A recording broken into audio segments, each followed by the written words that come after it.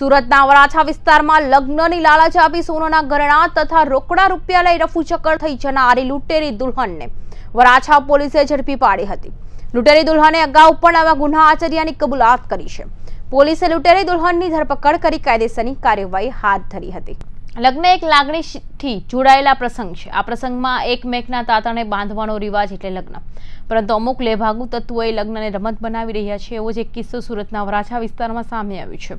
વરાછા વિસ્તારમાં રહેતા એક વ્યક્તિના સંપર્કમાં એક યુવતી આવી હતી. યુવતીને લગ્નની લાલચ આપતા યુવક તરફથી સોનેના ઘરેણા અને રોકડા રૂપિયા આપવામાં આવ્યા હતા. એ બંનેને મળી કુલ એક લાખ છન્નું હજાર જેટલી કિંમતની રકમ મેળવી સ્વાતિ હિવરરાય નામની યુવતી રફુચક્કર થઈ ગઈ હતી. આ મામલે વરાછા પોલીસ મથકમાં ફરિયાદ નોંધાવવામાં આવતા વરાછા પોલીસે બાતમીના આધારે લૂંટેરી દુલ્હનને ઝડપી પાડી હતી.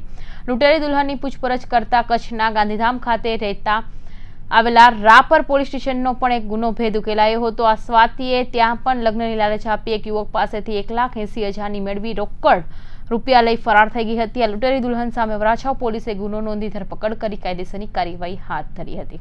આ કામે હકીકત એવી છે કે હાલમાં મહેરબાન પોલીસ કમિશનર સાહેબ શ્રી દ્વારા નાસ્તા ફરતા આરોપી પકડવાની ડ્રાઈવ ચાલી રહેલ છે.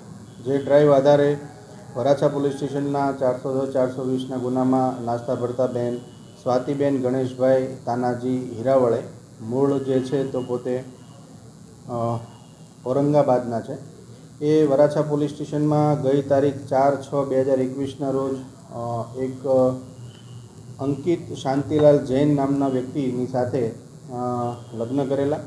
અને લગ્ન કરી અને પછી એની સાથે એની પાસેથી આશરે બે લાખ રૂપિયાની કિંમતનો જે સરસામાન હતો, એ એને રોકડા રૂપિયા લઈ અને અહીંયાથી ભાગી ગયેલી.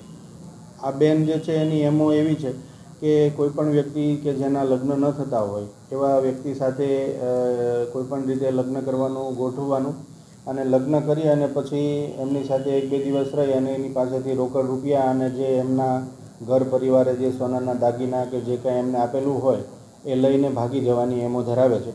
અને આ બેન જે છે, કચ્છ પૂર્વ જિલ્લાના રાપર પોલીસ સ્ટેશનમાં પણ નાસ્તા ફરતા છે. જેથી આ લોકો આ બન બેન જે છે એમની ધરપકડ કરવામાં આવેલી છે અને રાપર પોસ્ટે પણ આ બાબતે જાણ કરવામાં આવેલી છે અને કાયદેસરની કાર્યવાહી ચાલુ છે.